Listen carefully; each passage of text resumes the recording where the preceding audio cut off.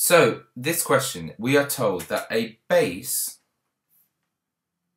for a shed has volume of 3.8 cubic meters and 55% of the base is concrete, the rest is steel. A lorry delivers ready mixed concrete in loads of 6 cubic meters. How many of these bases can be built with 5 loads of concrete?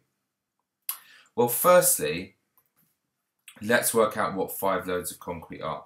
5 loads of concrete.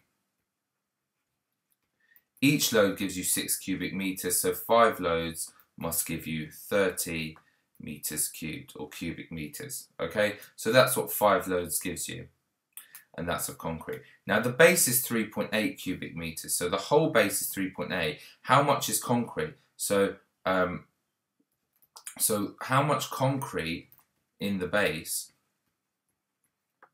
well, 55% is concrete, so what we would need to do is work out 0.55, which is 55% of 3.8. And if you do 0.55 times 3.8, you get yourself uh, 2.09 meters cubed. Okay, so the question is how many bases can be built where each base requires 2.09 meters cubed and you've got 30 meters cubed. So therefore, uh, number